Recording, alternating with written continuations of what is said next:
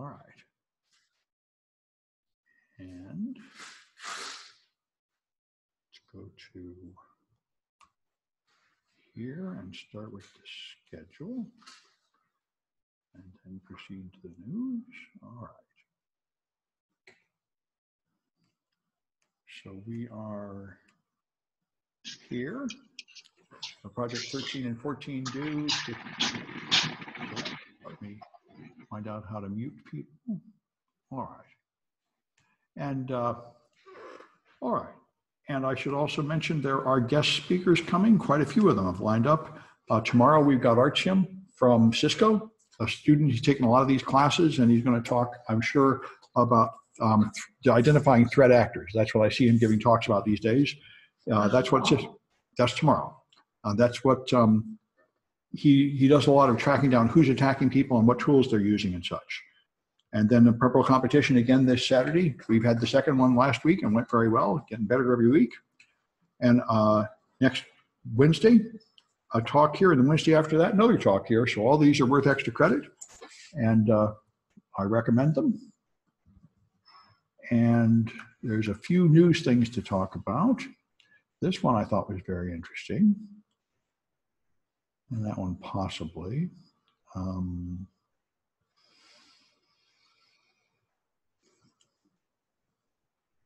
got a few minutes. I can take a few more. Um, that one's worth seeing.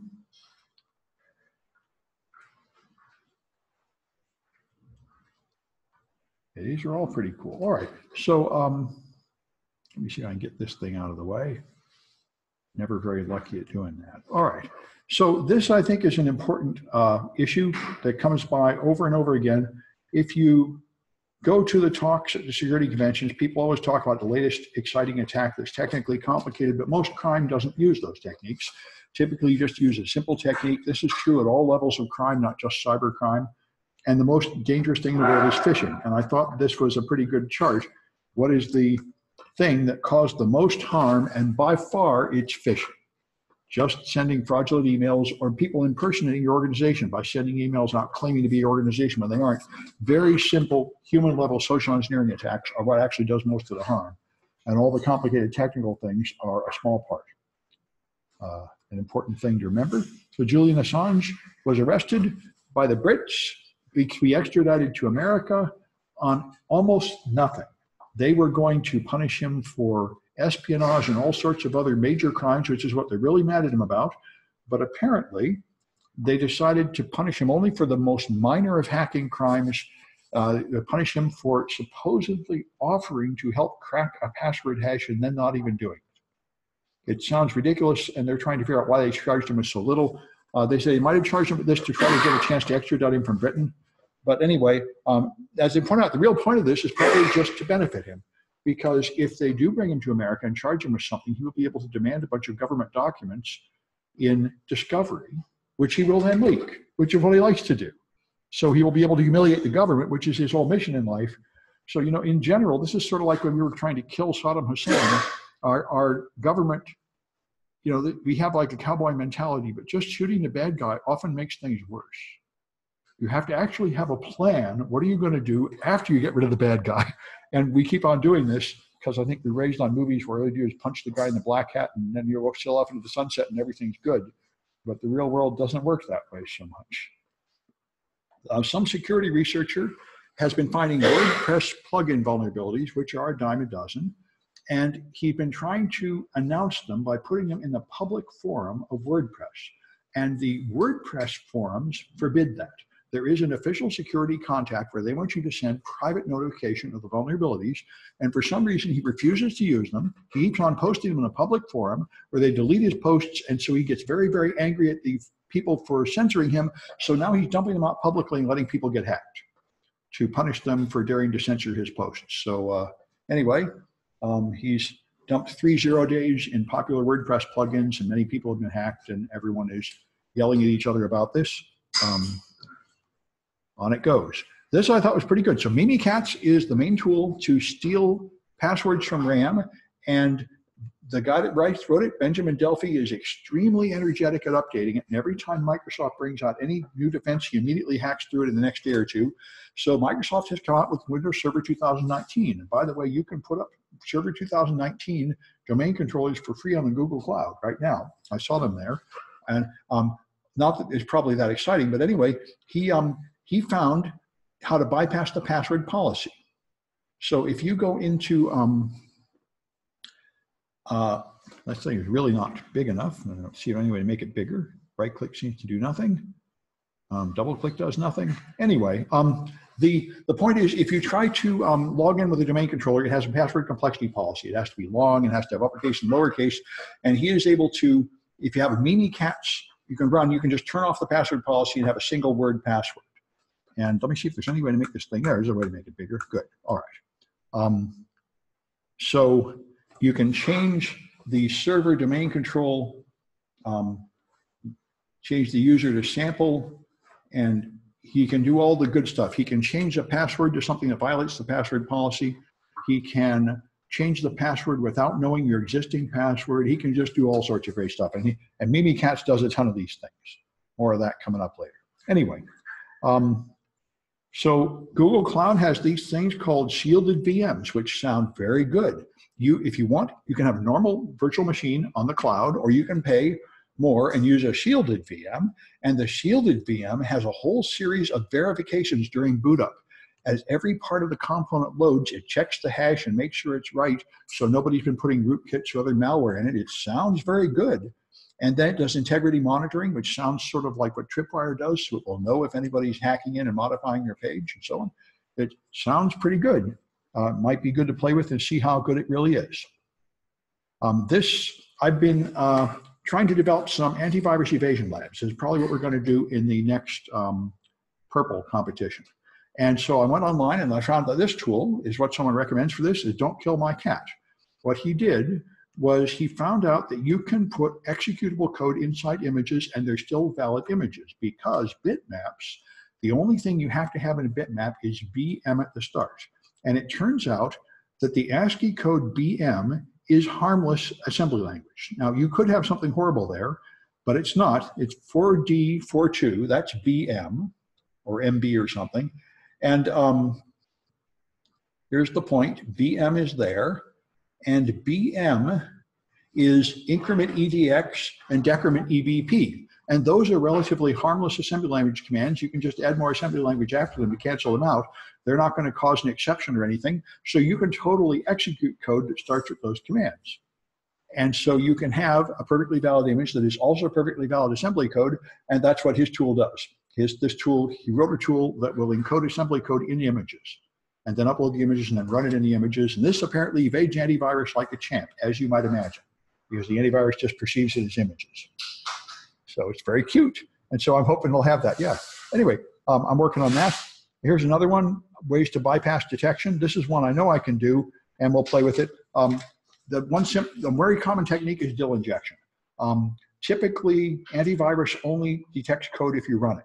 I did this with Python years ago. You can load a block of data that contains malware, and your antivirus will not go off because it's not executed. It just sees it as static data. Then you execute it in some other way, and it won't be caught. And you can do it with DLL injection too. You can load malware as a DLL, which is just a library, and then separately launch it with another process.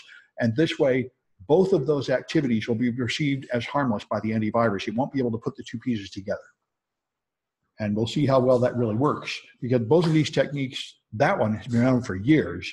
And presumably at some point, antivirus will actually update their stuff to where they detect it, but it hasn't happened yet.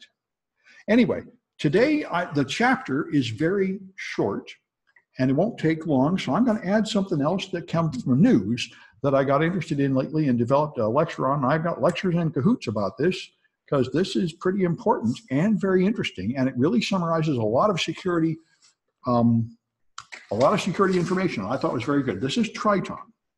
This is an attack that just this is because Kaspersky gave this talk at I think Black Hat in Singapore a couple days ago, and they issued a white paper about this. Um, no, pardon me, not Kaspersky, FireEye, which is Mandiant. Um, it wouldn't be Kaspersky because this is in fact um, a military activity from the Russians, so they wouldn't be spilling the beans on it. but the Americans are spilling the beans, FireEye. And so this is the most dangerous malware in the world, they say. This is the malware that was used to attack Saudi Arabian oil refineries. And the purpose was to take over the industrial control systems. And the main thing they did was turn off the safety modules to try to physically destroy the plants, like a bomb. Or at least that was the result. It might have been what they intended and it might have been an accident, but they turned off the safety systems. And uh, the, end, the end result was that it caused a uh, unexpected shutdown of the entire plant. It did not cause anybody to get killed, but it certainly could have.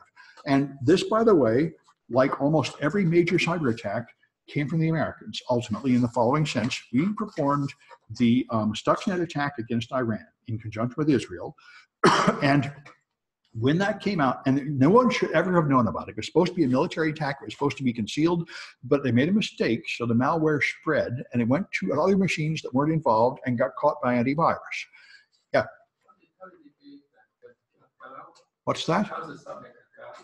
Uh, I don't know. Uh, they said it spread too far, yeah? Yeah, no, that's exactly what happened. They made it too good. They were worried that it wasn't affecting the computers. Yeah. And um, so they ramped up the ability for it to spread and just spread too far, too fast, and just got out Yes, and there was another one deployed against Saudi Arabia that used Wiper, that you'd infect machines and then wipe the hard drive completely, totally destroying them on the way out. And there's a few of these to try to remove all forensic evidence. That's another way to do it. But in all cases, the ones that we know about, there were series of attacks like this. The ones we know about are the ones that had a defect of some kind, so they got caught. Um, and so, when this came out that we had done this, a lot of the civil liberties people said, You really shouldn't have done that. You've opened Pandora's box. You started this world of cyber attacks destroying physical hardware.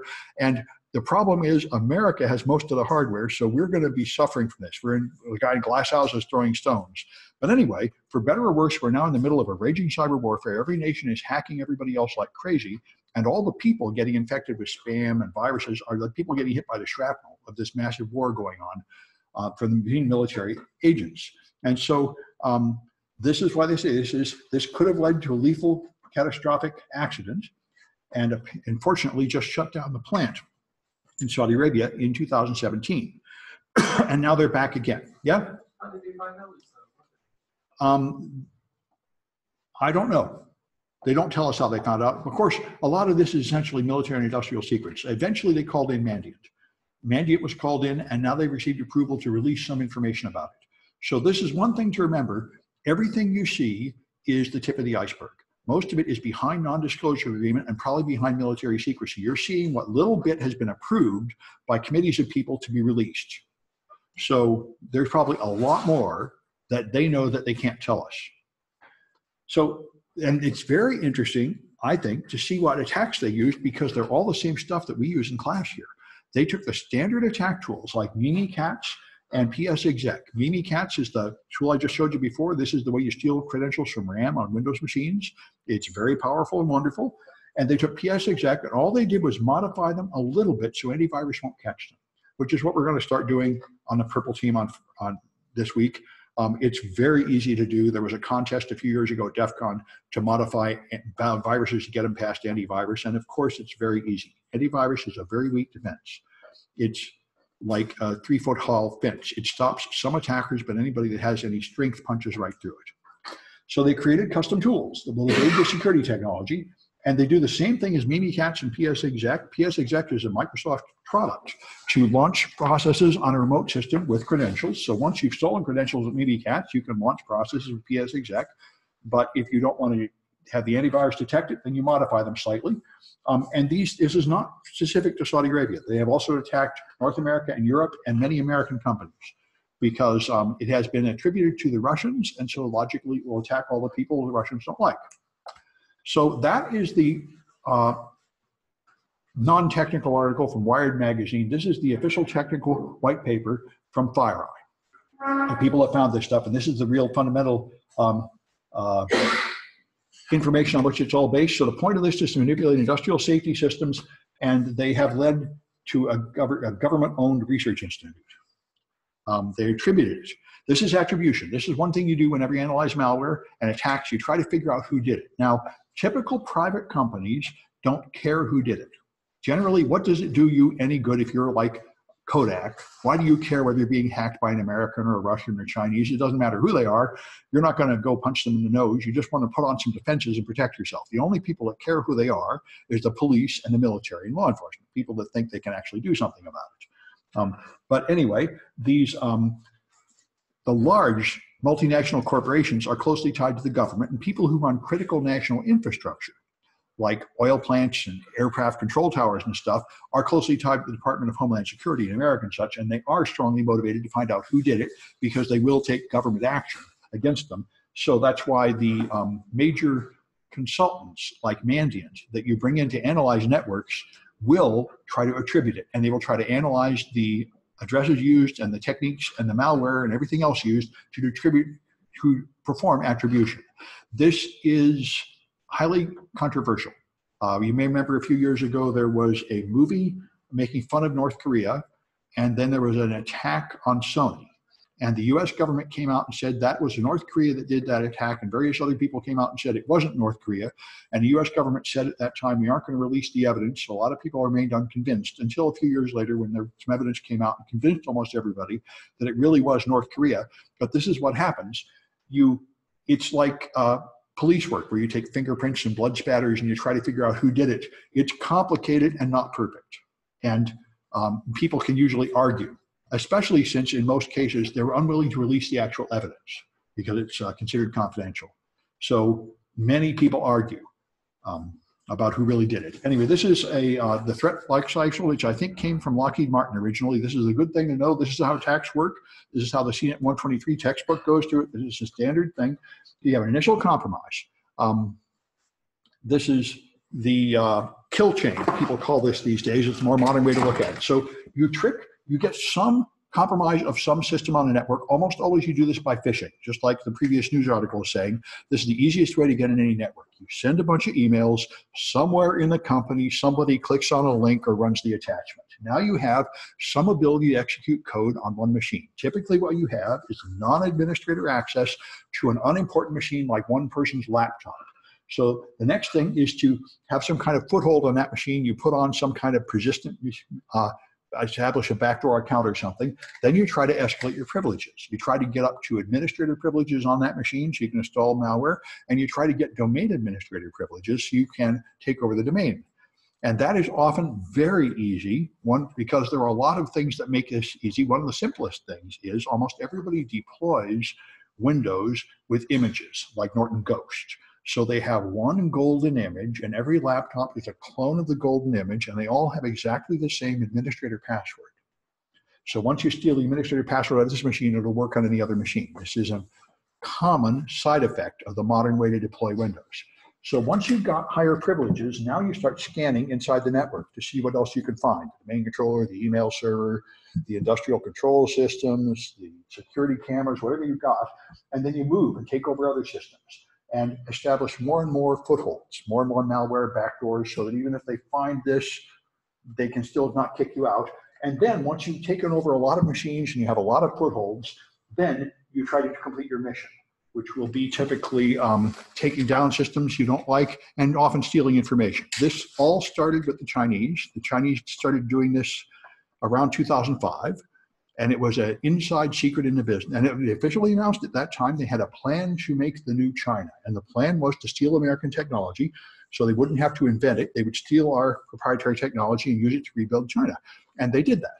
And everyone kept it secret in America until 2010, when Google felt personally wounded by the Chinese hacking them because they had just expanded into China and they saw the Chinese as a partner. When they found out Google, China was hacking them, they felt stabbed in the back and they kicked over the bucket and they announced publicly that China was hacking them. And that made it known, but they'd been doing it for a long time. And they had really done all they wanted was information. And they would sneak into your network and put malware on it so you could not tell they were there at all. They would very sneakily sneak out data mixed in the other data and live there for years. And they would have persistence mechanisms that would do nothing and wake up later. And they had persistence mechanisms that would wait as long as three years before waking up and infecting you again. So even when you think you've cleaned it off, three years later it wakes up and puts them back under the control of China because they really wanted to keep permanent inside connections inside the network so you could just keep on stealing your proprietary data forever. And they were the first case of the advanced persistent threat that started this, and all the many other nations are now doing the same thing. And they've developed over the last five or six years efficient intrusion uh, incident response systems to cope with this stuff. It's expensive, but now it's possible.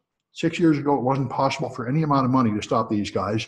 Now it can be done, but it's quite a job.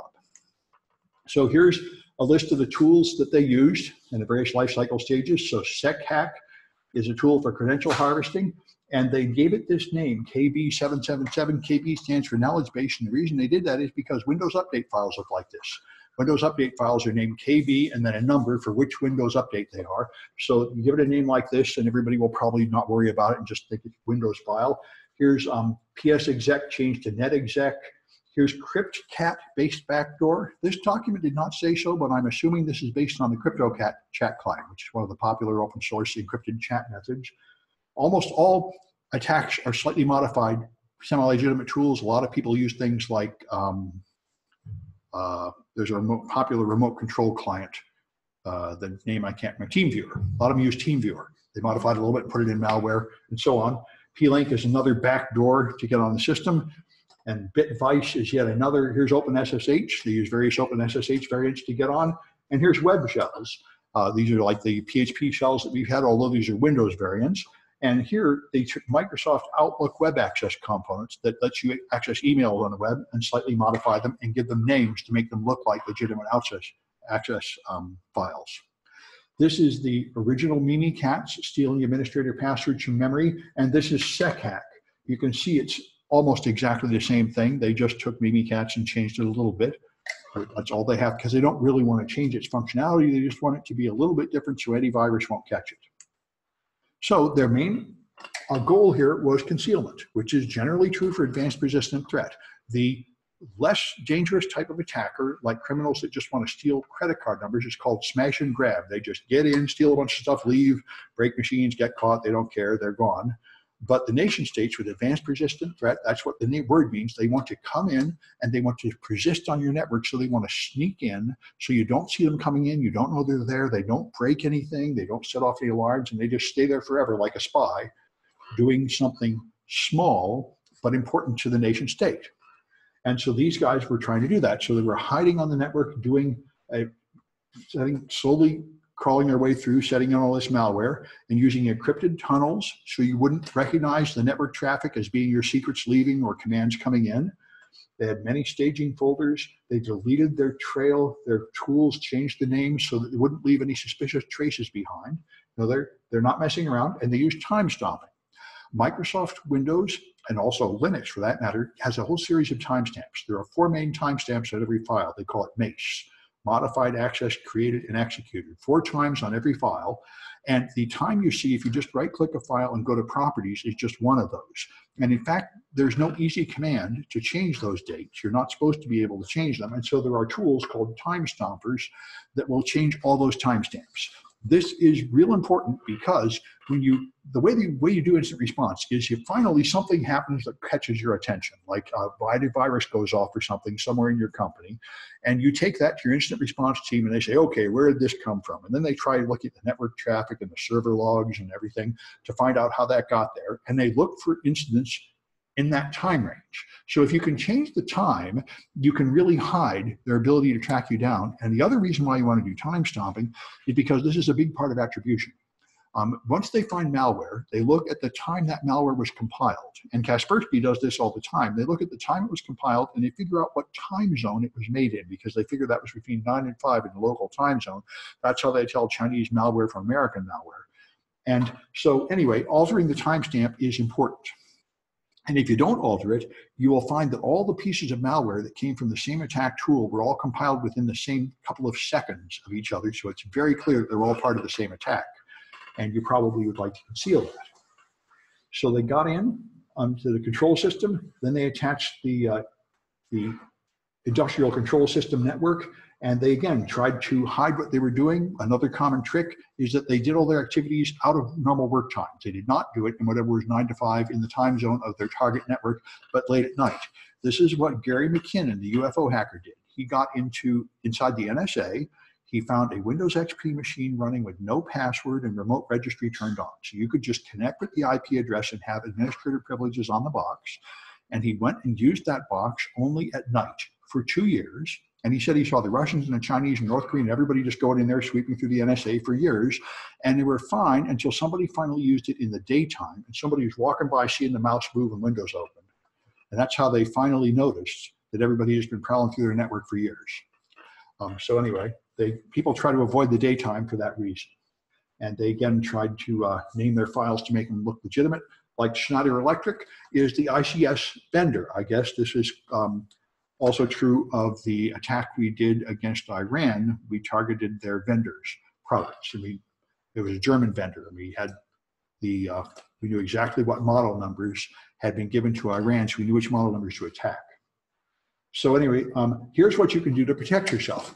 You could try to clean malware off the industrial control systems, but industrial control systems like Internet of Things devices are simple devices. They don't really have any antivirus. It's hard to get on them. It is far more effective to try to stop the attack before it reaches them. You would like to stop it before it reaches them anyway.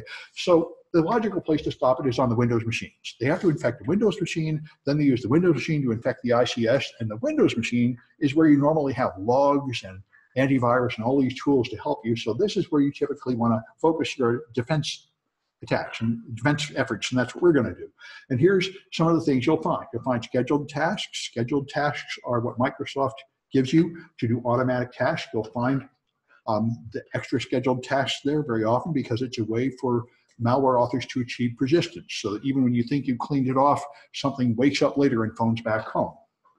Um, you got other techniques here, um, registry entries and hard-coded DNS servers. You will typically find domain names, IP addresses as a command and control server, and DNS entries because that has that's how it knows who to phone home to. Um, you watch you're going out trying ports. I was really quite surprised to find that an intelligent, sophisticated attacker like the Russian is using port 4444. 4444 is the default interpreter shell in Metasploit.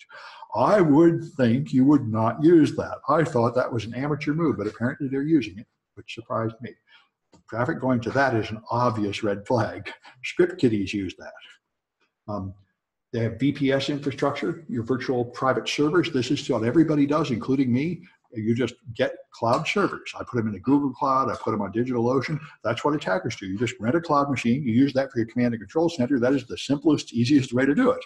Then you've got a machine you can use, and if they catch it and shut it down, who cares? You can just rent another one.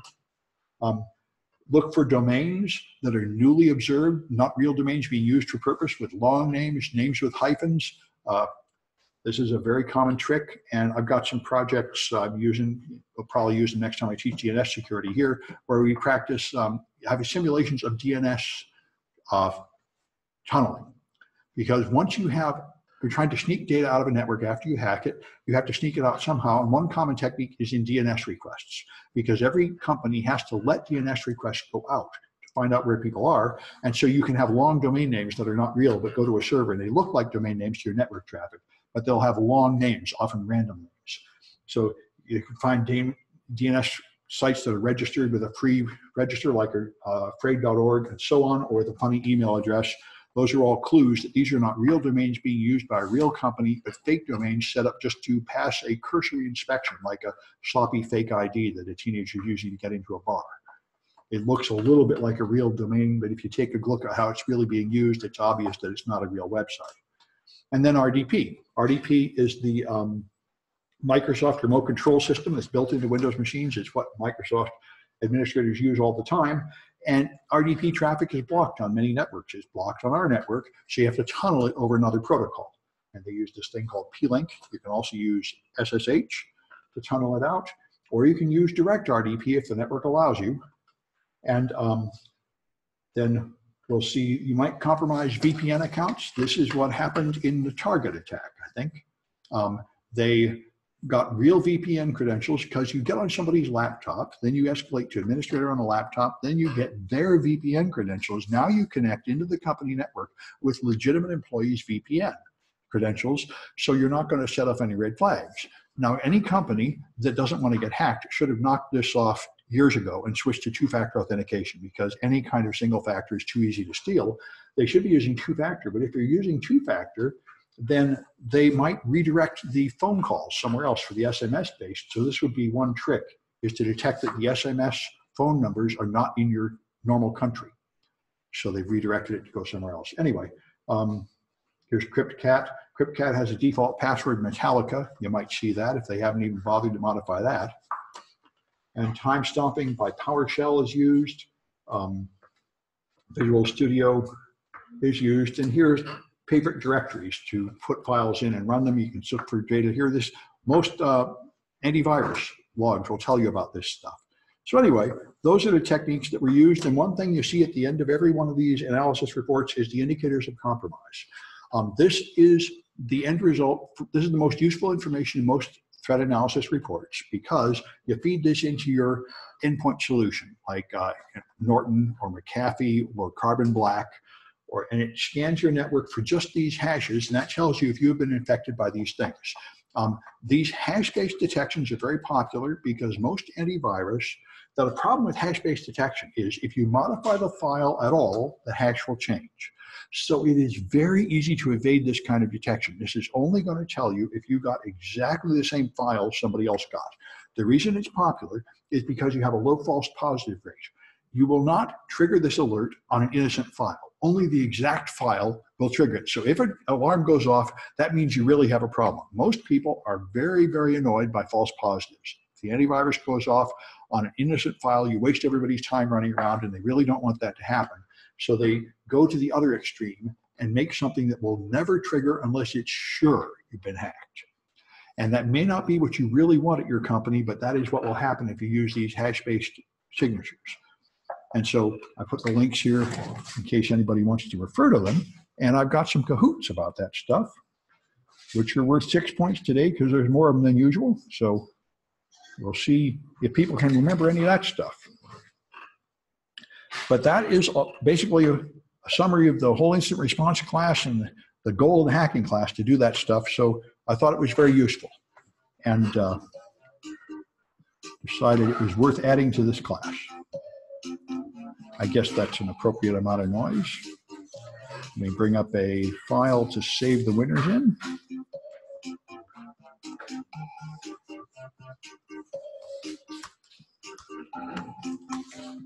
Okay. 415.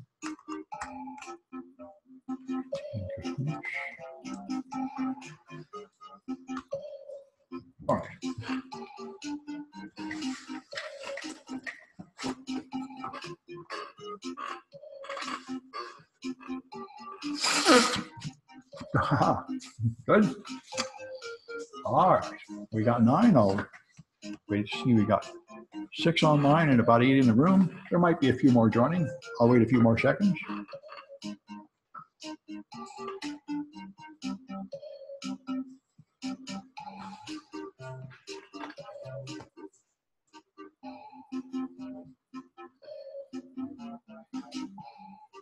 Ah, thought so.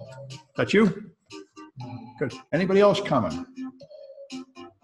All right, I guess we'll carry on. Okay.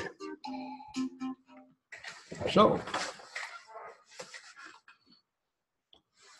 how many people have been killed by Triton?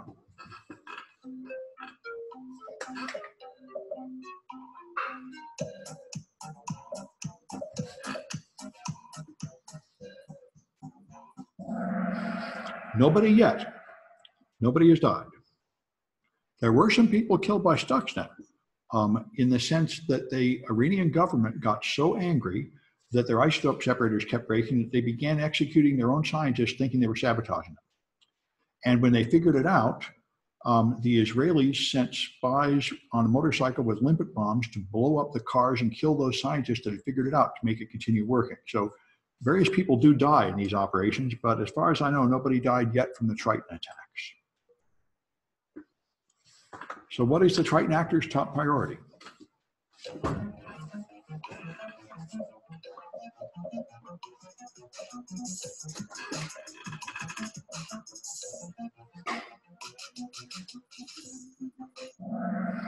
The main goal is to hide. All right. Who is doing it?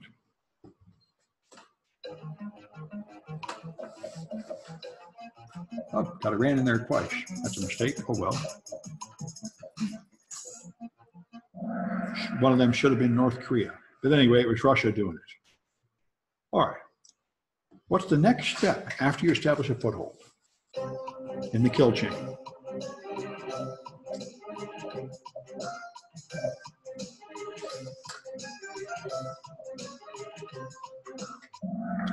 You have to escalate privileges.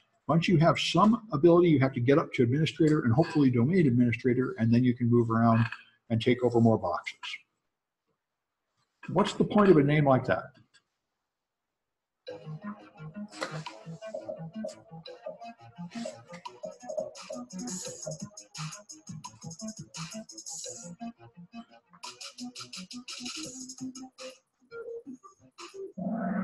That's it. Windows updates have file names like that. All right. What tool steals credentials from RAM? Good, clean fun.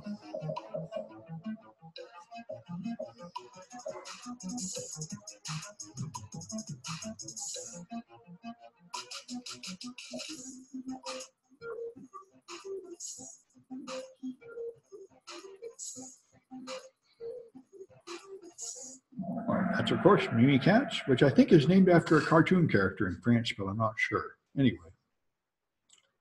So what's Microsoft's tool to administer servers?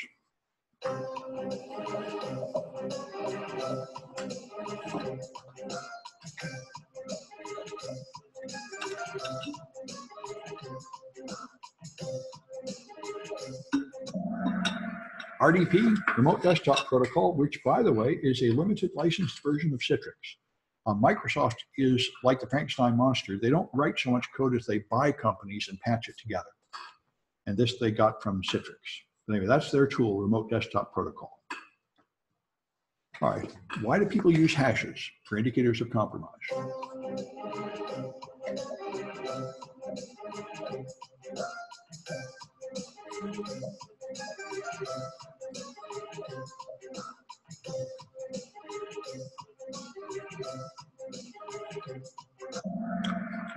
Low false positives. That's the benefit of it. If you see that hash, that really proves to a high degree of certainty that you've seen exactly that product. All right, so these are the winners. Attack on Triton will have to tell me who they are. That's you. Okay, good. Um, what's your name? Marshall. Okay. That's probably good enough. Good. So you folks get six points. Good. All right. And Caitlin. All right. Uh, Caitlin really needs those points. All right, Johnny, the, uh, all right. So, um, all right. So, uh, you know, a little bit of this talk about logic. This is the kind of stuff that doesn't really lend it to cahoots. But I wanted to demonstrate this challenge, which I think is good, clean fun. Um, so let's take a look at that. If I bring up Burp, which is running here, and I go to my options, it's listening on 127.0.0.1, which is fine because I'm not trying to hook up an Android device or anything. I'm just going to use this um,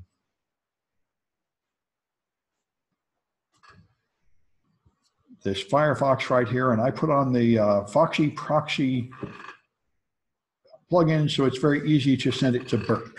So now it's going through Burp. So if I go to ad.samsclass.info, okay, then I should see in Burp, I should see some traffic. And if I go to HTTP history, let me clean this out of the way. Okay, and if I go to the bottom, I see ad.samsclass.info. So let me delete all this old stuff, clear history. Okay, and for this project, I go to, by the way, I cleaned this page up a little, but I left a link to Caitlin's hacked version here. Anyway, so um, let's go to SAML, samlol.samsclass.info. And I don't know what this nonsense is talking about. Um, neat. Um, that would be sort of interesting to find out why. Perhaps this is because of the bad security. Ah, it's the SSL it doesn't like, right? So I wanted to go to the non-SSL version so we wouldn't have to put up with this nonsense. That's interesting. Firefox seems to have changed their warning and made it more alarming, which is probably an attempt to improve security and not necessarily a bad thing.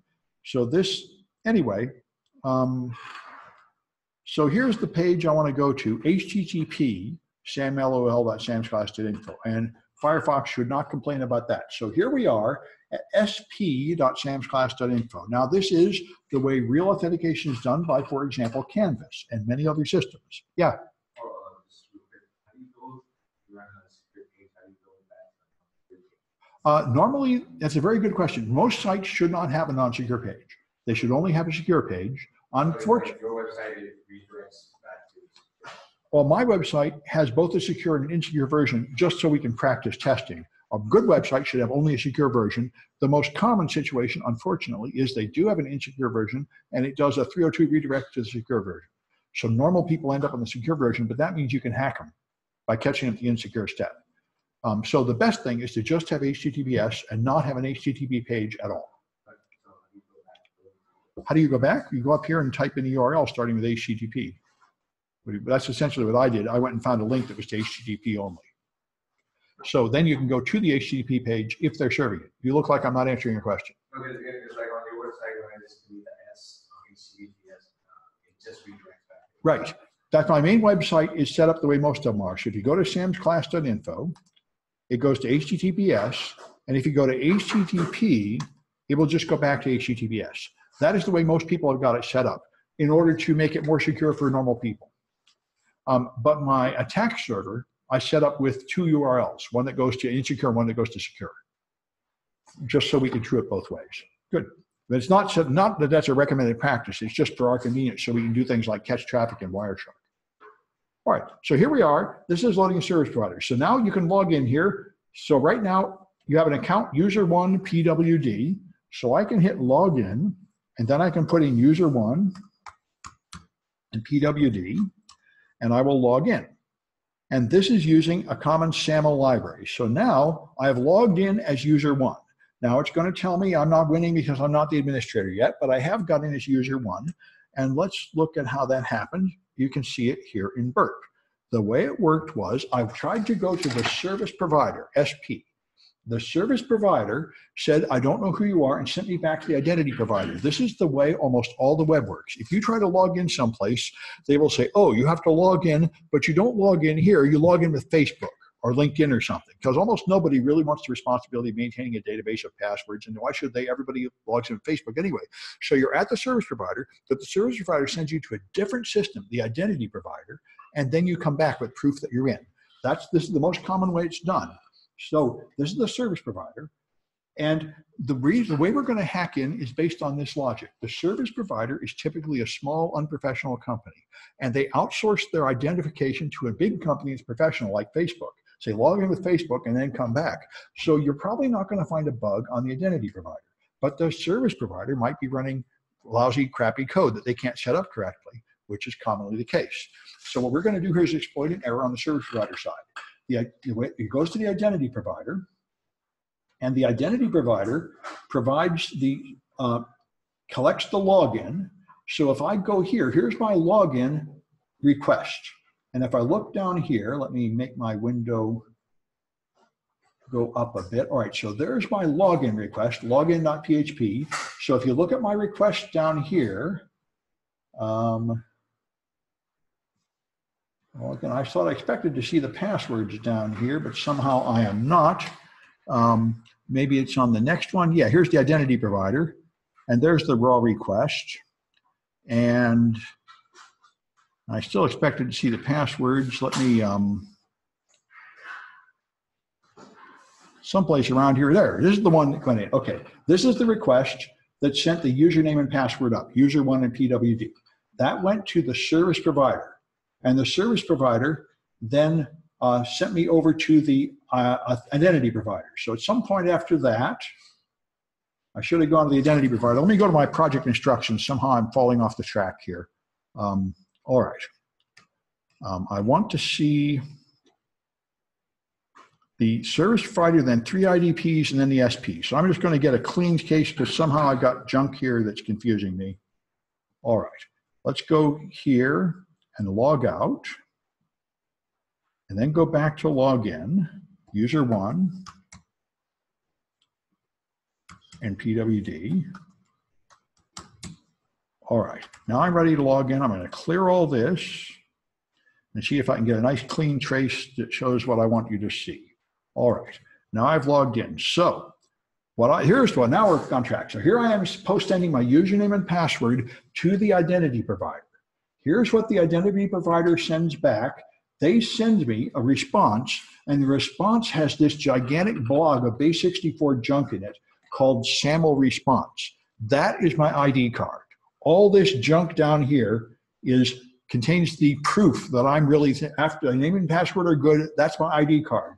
So now I go back to the service provider, and when I send a request there, I send them that huge SAML response. You'll see it here in the raw thing. You send that to them. Here's the ID card I got. And the uh, service provider will now believe that that tells it who I am. To understand this, you can put on the burp extension SAML Raider. You can also just copy this and put it in Python or unbase64 it and see what it is. This is just base64 encoded text, but SAML Raider does that for you automatically. So the reason why this turned purple is because SAML Raider has detected it has SAML in it. SAML is security assertion markup language. And so this is this contains code which makes a security assertion, and this right here is the assertion right at the bottom. It is an XML document claiming some security things. And in particular, it has a signature. Um, it has a series of signatures. Here's things about algorithms. Here's a signature value. It has these long base64 encoded signatures and certificates, which are cryptographic proof that I, I, whatever I'm saying is true with several signatures. And down here is what is signed. And what is signed is a claim about who I am. And here is the claim I am user one. So this big blob of base64 decodes into this long statement that says my ID card. I am user one, here's my email, and so on. And this signature is what proves it. So the job of the service provider is to check the signature. And if the signature is correct, then believe I'm user one, let me see user one stuff, which is what happens here. As you saw, I saw user one's page here. So the question is, can I trick it? Now, I might want to try to edit it here, but all this stuff is grayed out because I'm on the History tab and you can't change history. If you want to change anything, you have to catch it on the fly before it goes. So I'm going to go back to here and I'm going to log out and then log in again. And this time I'm going to capture the login and modify it. All right, so I'm ready to log in again. Now I go to intercept and turn on intercept. Now I log in and the first request is intercepted, but this request is the one going to the identity provider to get the identity card. So I don't want to intercept this one. I want to let this one go forward. The second one is the one that has this SAML signature, which you see down here. This is the one I want to modify. So now I can modify it on the way out. So suppose I try this. I'll just change my name to admin. Now maybe they don't verify the certificate at all and they just believe whatever they're told. That would be nice. So now I, I stop intercepting and we'll see what happens. And what happens is I get an exception. So it won't fall for that. It does notice that that signature does not match the data. Something bogus is happening here. And then I didn't write a very good website. It just has the default error message. But anyway, I got busted. I didn't get away with that. So let's try this again. I log out and now I log in again with my only valid account I know, user one and password. There's a user two, but I don't care because that's not an administrator either. Now I'm going to intercept this one. So turn on intercept, log in. Now go back to Burp. This is the request to get the ID card. I want to let that one through. Here's the request at the ID card. So let's try this. Notice all this cryptographic signature stuff up here, which busted me. What would happen if I remove the signatures? Now they're gone. I could send a claim that does not have signatures. Now, this is quite common, and this happened to some of my automatically graded projects where an empty field is interpreted as okay because the logic was, mis was mistakenly encoded. Now, let's see if I can change my name to administrator, admin. And then stop intercepting. And now when I go back here, I win because a missing signature is interpreted as a valid signature. This is much easier to do than you would think. Um, so that's that's that thing, and you get to see the reason why this pr- product SAML Raider exists is because about five years ago, a research paper came out and they analyzed all 14 of the existing SAML libraries, and about 11 of them had these vulnerabilities. It was just amazing. Uh, this is true of almost every generation of security products. The first generation of them is incredibly bad. Like the first generation of encrypted USB sticks, 90% of them were not encrypted. All they did was put software on them that launched when you plugged them into a Windows machine that asked you for a password. And they wouldn't open the folder unless you put in the password. But if you plugged them into a Linux machine, you could just copy all the data off them. So they weren't really making you very safe. The iron key, which was more expensive, was really encrypted. The rest were just password protected, but not really encrypted. So you really have to check your security products with a suspicious eye uh, because very often they are doing far less than you might think they're doing to protect you. Anyway, so I wanted to show you that one. And um, there's another one here. I guess I'll mention as we're going live. We've got the time. This is um, PHP fail. So let me go back to here and go to um, attack. Okay, and then PHP fail is here. And there's another one at the bottom. I want to show you this one. I thought this was pretty interesting.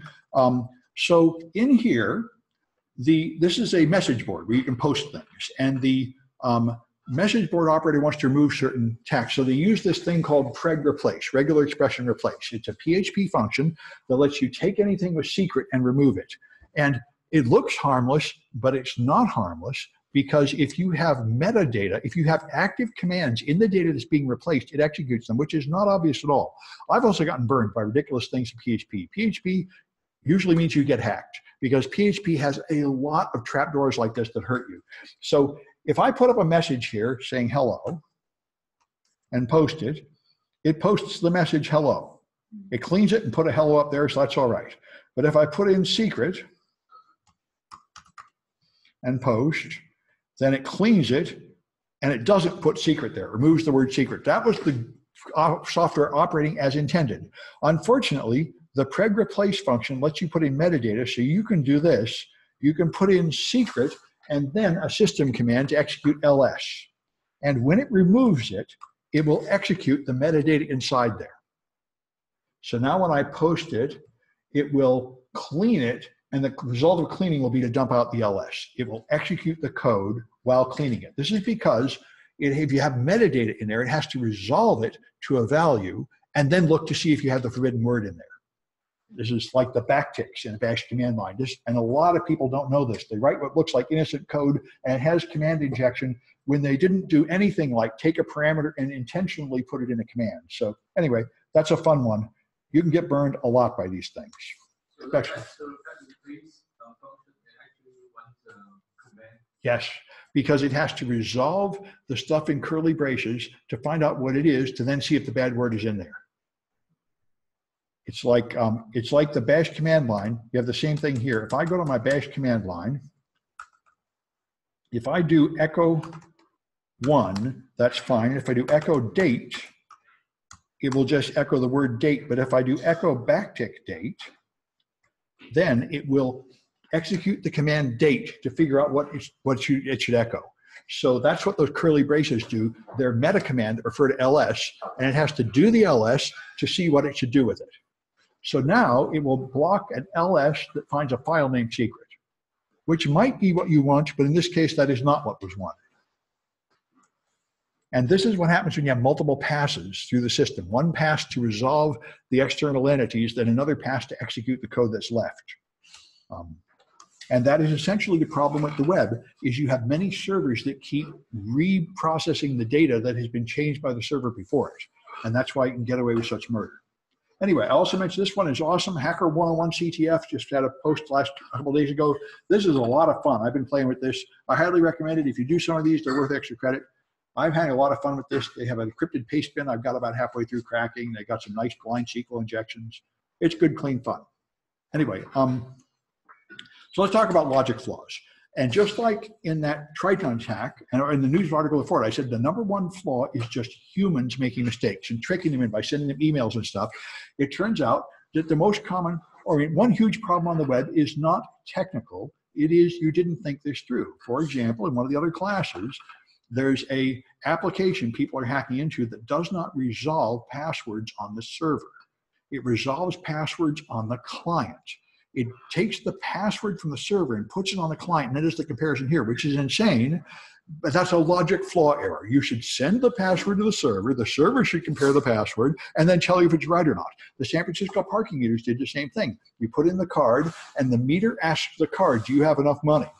It's the card doesn't ask the meter, "Do I have enough money?"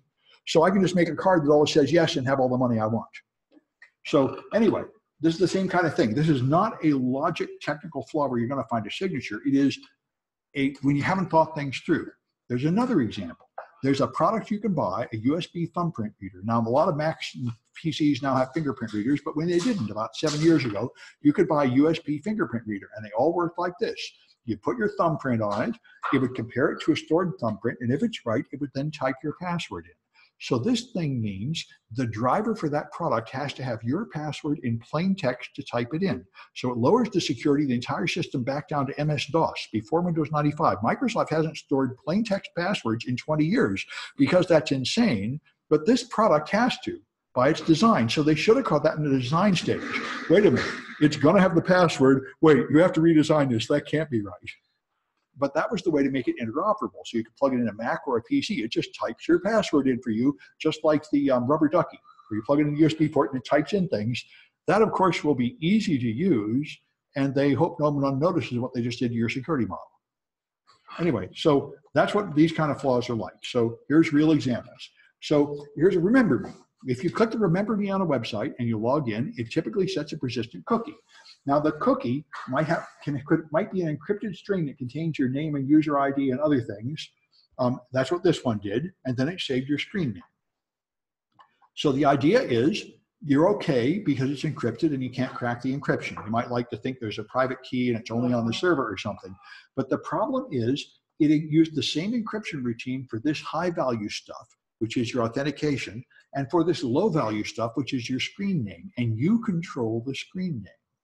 So what you can do is the app, in order to display your screen name, it decrypts the encrypted screen name stored in a cookie and puts it on the screen. So there is a function available to decrypt, which I can control. So all I have to do is take the Remember Me cookie and copy it into the screen name cookie, and then look on the screen and I'll see the decrypted value of the Remember Me token, which is welcome Marcus and then some code numbers. So now I know what the right answer is for the administrator. Well, I just change it to admin and then let it encrypt it. And now I know the encrypted token to be the administrator because they used the same encryption routine for a high value target and a low value target, and I had access to one of them.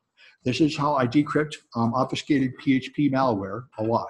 Um, PHP because I can just run their code to decrypt it. I don't really have to understand it. I just find their decryptor and run it. Um, all right, so that's the game. I can now become admin. And in this case, they used strong unbreakable encryption, but it didn't matter because I had access to an encryptor and a decryptor that I could get to. All right, so this is the thing you can do. Look for things that are encrypted, not hashed, and try substituting values back and forth and see if you can get away with these oh, So things. You said cookie versus token. They're like, I Uh, cookies- sixty percent is still cookie, right? Um, well, a token is the general term for something that they use to identify you, and it could be stored in a cookie or it could be stored in something else, like a hidden parameter. But usually it's stored in your cookie. But I mean, a token is a token, right?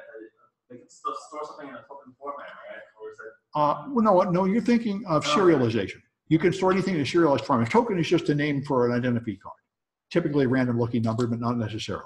Oh, like the last digits of that IP address. Yeah, that's right. Yeah, you could call it a token. All right, so, and there's a password change function. So you go to change your password and it asks you for your old password and your new password. This is the way it's usually done. However, um, if you, here's, here's a catch 22. If you have separate code for the administrators and the users, then there will be bugs in one of them that aren't in the other. So all the best practices say never do that. It's even in your book for this class. It says have one identity provider, one authenticator you use for everything. Otherwise, you'll have this machine think you're the administrator, this machine think you're not the administrator. There should be one master thing like the domain controller, which decides who you are, and everything else you just ask the domain controller. So if you apply that best practice here, what do you do when the administrator wants to reset your password because you forgot it? The administrator doesn't know your existing password. So there has to be an administrator version of this that runs without knowing your existing password. So the way they did it was they used the same code. And the code would look, and if you did not provide an existing password, that meant you were the administrator. Because that meant you're coming from the administrator form that doesn't ask for that. And that was the clue. So all you had to do was use burp and go to the normal form and remove the existing password, and it would interpret you as the administrator and let you change the password. So it's an understandable mistake, and it's an attempt to follow a best practice, but a failed one. So that's the game. Just remove the existing password field entirely, and it will assume you must be the administrator. This is something many developers assume. They assume that the only way in is to use the forms they give you. So they give you a form that asks for existing password. They give the administrator form that doesn't. And when you get code without it, that means you must have come from that form because they don't know that you can use burp and forge the response to make it look any way you want. So that's the game. So try deleting parameters and see if you get different results when a parameter is gone, which is what we just did with SAML. Just removing the signature entirely got us in, whereas having the wrong signature would not have got us in. All right, and here's another one that happens a lot. You have a multi-stage process. You browse the product, you put things in the shopping basket, you go back here and finalize the order, enter payment information, then you enter delivery information. That's the way you should be doing shopping. And the administrator, of course, assumes that you do these things in order, but of course, you could just pay attention to the URL, put one of them in your favorites. You could buy a product and put step four in your favorites, then go back and buy another product and jump directly to four without passing through steps two and three. And if the administrator didn't think of that, you're hosed. They call that forced browsing. Instead of clicking next, I jump to the other page. Another term for it is unsecured direct object reference, where you can go directly to something without proving that you should be there first. And that's the game. I proceed directly from step two to step four. I get the product without paying for it. Um, so you can try skipping stages, doing the same stage twice, doing stages backwards, and all these might have entertaining effects. Um, the right way to prevent this is to have a hidden parameter on each page that is set randomly by the server, and the next page should verify that that parameter is there. So that proves you must have come from the previous page this time and not from some memorized page that didn't have the right parameter. That's the right way to do it. But many people don't know that, and they're open to this attack. So here's another one. There's an insurance provider. They will let this, I've seen pages like this. I think the one Metromile has this. You can go there and they will estimate how much money you would save by switching to our insurance provider. So they have some kind of thing where you can make an account and you're not even a customer yet, but you can tell them all your information and they'll predict like how much you should save and then hope you'll buy it later. So, um, all right, so this one here, you obtain quotes, then you have an application and the real application process is very stringent and you submit information, you file his personal details, it's sent to a human underwriter who investigates and decides your, if your financials are right and everything and gives you a deal and that's fine. And so this is, that's the, the system of really getting insurance. The problem is um, they didn't consider a user that would submit extra parameters. Since the underwriter used the same system as the person submitting the insurance, you can add the token that says the underwriter has already approved it. And they will interpret you as having already passed through that stage and you get in. So that's one trick. Um, purchase insurance at an arbitrary price, replace the monthly premium at later stages, and they think it's been approved because you put in the parameters to indicate the underwriter has already approved it. There were some examples like this in the previous chapter where we were doing a funds transfer in a bank and we were able to add parameters to the request that said it had already been approved when it hadn't. So you can move parameters around from one stage to another and you might be able to have one stage where a parameter has a value and then change it in a later stage where it will assume the previous stage set it. All right, here's another one. Bank customers can register for online banking so this collects your name, address, and date of birth and forwards it to a back-end system, which then mails you a paper thing, which is how my bank works too. I get this card in the mail.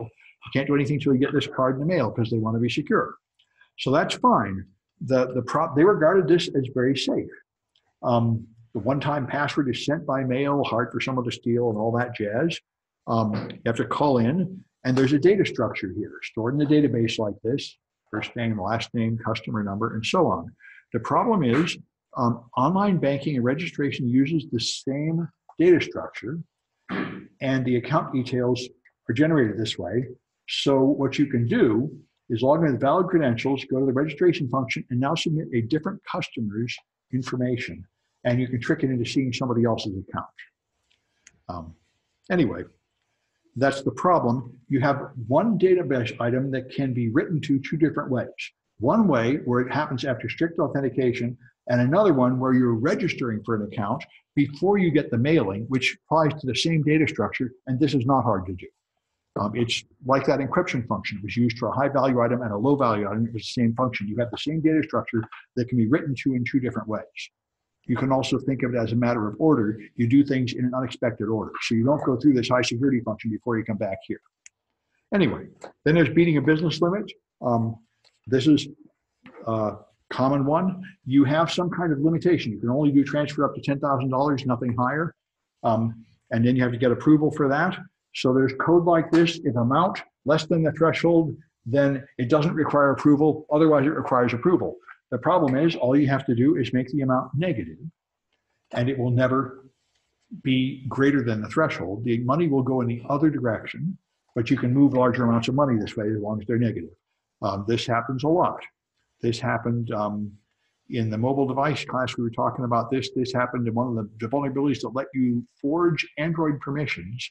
All you had to do was put in a number that would be over rollover and be interpreted as negative in a links field, and it would let you add data where you shouldn't be able to add data and change the permissions of your, uh, change the signature for your app.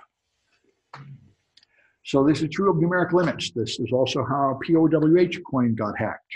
You could subtract money from an empty account and it would roll over and become a huge positive number, and now you own all the money in the bank. Um, rollovers and negative numbers are a common problem. Integer overflow and integer underflow, they call them. They're serious problems.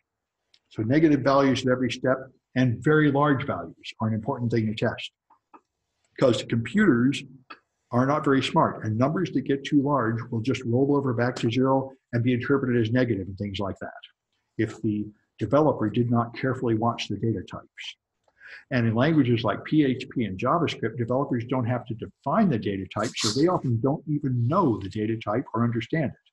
They just expect the number to be okay because it's okay as long as the number is not too large or too small, and they don't test these other values. So here's a common one. You order your software products and there are conditions under which you get a discount. Like if you buy 10, it's cheaper. So all you have to do is put all 10 of them in your shopping basket, get the discount, and then delete the some of them, and you still keep the discount because they didn't think of that. That's a common trick. Remember, there were a lot of these that went by, like Microsoft was handing out USB flash drives for something, and there was a way to just like sign up over and over and over by like deleting the cookie or something. And this went all through um, those days, Yahoo chat and everything. Was before Twitter. And Microsoft actually canceled the refund because people were getting like a hundred of them. Um, anyway, so here's escaping from escaping. This one was pretty good. So they have user control input used to create an operating system command. But they didn't want to get hacked, so they filtered out special characters. So you can't put in a semicolon and add another command or an ampersand or greater than to redirect the output. So you should be fine, but they for and they will do is add a backslash in front of these. And a backslash means it does not get treated as a meta character, but as a literal character. The problem is they didn't backslash, they didn't remove backslash itself. So now if I put in backslash semicolon, it backslashes out the semicolon, and the end result is it backslashes out the backslash and the semicolon takes effect. So this is the problem with blacklisting. If you try to stop all the evil characters, it is very often the case that there's still a way to hack it. It is much safer to do whitelisting, where you have a lone list of good characters and only those characters can get through nothing else. That is much safer than trying to think of every bad thing and block it. All right, and here's input validation. So a similar issue here, you got a SQL injection filter, which takes every quote and adds another quote to it, which is what SQL wants you to do. A double quote is treated as one literal quote, not as a meta character that ends a string. So that would be all right, but the problem is you also have a length limit that truncates input to 128 characters. So that means all you have to do is, um, so here's, if you try to inject this administrator, it will turn to this admin quote quote. And that will not cause a SQL injection. The quote quote will be treated as a literal quote in the name, and that's fine. But if you put in 127 A's and then an apostrophe, it will add another apostrophe and then trim it off because you exceed the length limit, and now you get a SQL injection. So your two layers of modification undo each other's work. And that is fundamentally what happens for almost all these attacks. is one layer of processing does something which causes the next layer of processing to misunderstand what's going on. All right, so that's the game. You can now create injections that are 127 characters long that let you in. All right. Uh, if you want to detect this, you can try submitting just many, many quotes and see if there's any length of many quotes that cause the syntax error, for example, or other errors. Um, all right, and here's a search function. Uh, this is a fairly common arrangement. I've seen this quite a few times. Um, you have some kind of limited thing where you're supposed to prove you've logged in before you can access something or prove you paid for it before you access something. But once you've done that, it just has a link. Uh, this is something Kirk used to find. We had these um, Microsoft software deals where you could download software, and he kept finding out that you could just log in, find the software link, save the link, and now just email the link to somebody. Everybody can just download the stuff because Microsoft's distribution system did not have authentication. This is called unsecured direct object reference. Once you log in, they give you the URL, but they don't actually check who you are when you click the URL. So you can pick a copy on another website and everybody can just download it. Um, of course, in Microsoft's case, this wasn't too much of a, a, problem because you also needed a product key. And they would generate the product key by a more secure process. So it was just a way to get the software if you lost your copy of it. But still, it showed the same kind of thing. And here's what happened here. Um, this one was even more subtle one, though. You can you can search the product before paying for it. And you can search inside the contents of the product before paying for it. So that means you could, in fact, deduce what's in the content by searching. So you this is like blind SQL injection. If you can do any question, then you could find things like press release. You could do WA consulting, WA consulting, merger, share issue, guess what the content might have and see if you have a match. So you can, in principle, reconstruct it. Uh, there are database vulnerabilities like this. Um, there are a series of these where you can have information leak from a high security privileged database to an unprivileged attacker who can just guess until they find it. Uh, in a sense, this is what Spectre and Meltdown were. Spectre and Meltdown let you guess for something and see if it's already in the cache. So you cannot directly access something because you don't have permission, but you can indirectly figure out what it is by guessing. Anyway, uh, people have done this to brute force a password with things like this. Password is A, password is B, and this is what blind SQL injection is. You guess one letter until you find it right, then you guess the next letter, and you gradually build information about a secret. All right, uh, error messages are often a big problem. You may notice my servers have a lot of ugly error messages when you do the project. I turned on PHP error messages just so we can see them, which have them turned off on production servers because they often contain too much information.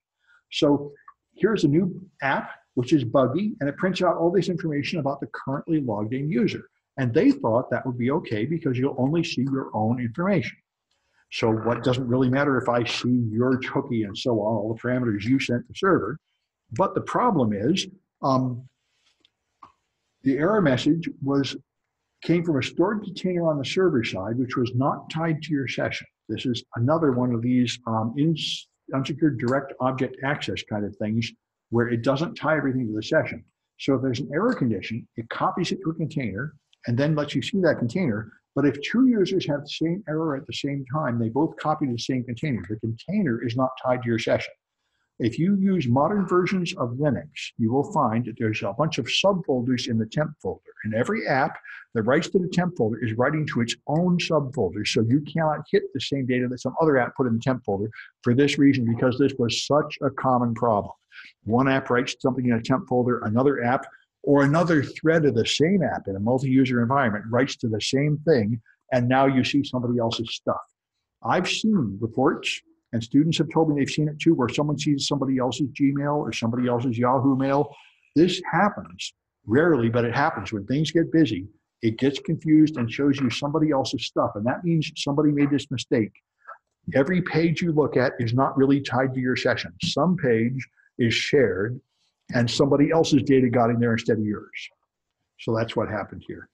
Um, and so that's the race condition. Under certain conditions, you'll see somebody else's stuff. But what's even worse is you could now just poll that constantly. I could keep on polling to see if I get that error, and I might get a list of information I can use to hack into things. Um, so that's the bug. And of course, uh, this is very hard to debug because if you set up the server and then test it, you won't see anything. It only happens when it's really busy, so busy that two users are using it at the same time, and you probably don't have a test condition like that. So you'll write it, test it, say it's okay, then you deploy it, then people complain, then you take it down and test it, and it looks okay. It's the kind of thing that can drive you nuts. All right. So here's the problem. At some point, you're storing something in a variable that is not tied to your session, that's shared by other people, and in a high volume condition, this causes it to get confused about who you are. That's called a race condition, where there is two processes running, and if you win the race, you hack it. There's a brief period of time when you can do what you should not be able to do. This happens all the time. And I wrote a project doing one in another class. If you take 127, you'll do it. This is very easy to set up a condition with a race condition where you can elevate to administrator because there's a brief period of time when some process is running as administrator and you can change something in that time. So to all these logic flaws, um, what you really need to do is, it's not technical. You need to make a flow chart, like an organization diagram. You do this step, you do this step. This is why I keep saying managers are necessary and managers should not attempt to be technical. You don't get into the code. You say, all right, tell me what information did you collect? You got the user's name, you got their address, you got their social security. Okay, where did you put it? How did you make sure nobody's getting at it? Let's give me a block diagram. Where did it go? Where did you put it? When did you delete it? You'll catch this kind of thing just by seeing the flow of how the data came in and where it went out. And it's um, all right. That's the game. You should have clear documentation and have some at some level. There should be a level where you have a block diagram and you understand where the data is, where it's being stored, where it's being sent. Somebody has to do that. Like you'd have a plumber watch all the places the water goes and see if it's leaking out somewhere. They'll see if there's a, a leak that way. And this will be a security review process. Uh, you can focus on conditions that the user can control. That would be a way to hit most of the high value problems quickly. All right, so think about the ways it handles unexpected user behavior. That's why you need people with what they call the hacker mindset. There's a certain kind of people that are always making trouble. Um, I remember I went to a convention. Yeah, I went to a convention and I was I go a day early, so I walked up to uh, Subway to buy a sandwich, and I asked the one behind the counter. I said, "Why is the security camera pointing over there? It should be pointing to the cash register or the door." And she wouldn't sell me a sandwich. She said, "You're a crook. You're planning to rob the place." I said, "Well, no, that's just the first thing that came to my mind." I'm a security professional, and she wouldn't sell me a sandwich. She made me leave. I was, I felt offended. But you need, that's the thing about hackers. You need these people that think of what is the twisted backwards thing to do in this case, and what would happen if I did that. Troublemakers. Anyway, all right. So that's uh, that's that chapter, and we've had other things happen. I think that's enough for one day, unless people have questions. Yeah.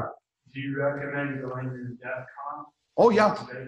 Uh, yes, DEF CON is very good. Um, now, to be fair, DEF CON is huge like Disney World. There's 25,000 people. There's 50 villages and contests and everything. So you can have a bad experience. You could go to a talk you can't understand, go to some.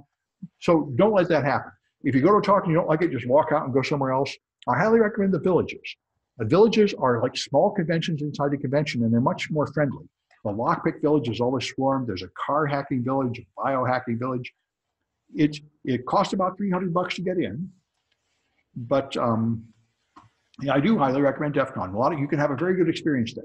Just be aware that you know it's up to you to have a good experience. Like go to Disneyland, you ride a ride you don't like, you're miserable. Uh, that doesn't mean it's all bad. I like RSA. Yeah, well, if you like RSA, um, then you might like DEF CON. RSA is much less exciting than DEF CON, much less technical. But you know, if maybe that's the thing. If you, as long as you understand what it is and you can read up about it, there's tons of cool things to do. Um, there's late night parties that are sort of hard to get into with people doing expensive things and strippers and stuff. But there's also a lot of show in the day. You know, there's people that are doing wild Vegas partying. Some people are into that. I'm not. But um, there's also an awful lot of good talks and an awful lot of good demonstrations in the villages. I always hang out in the Packet Hacking Village. I know those guys. I I, I can do hands-on training there. So, but um, there's lots of things to do there. You should be able to find something fun. Anything else? All right, I'm going to stop the share and I'll go upstairs and help anybody wants to work on projects.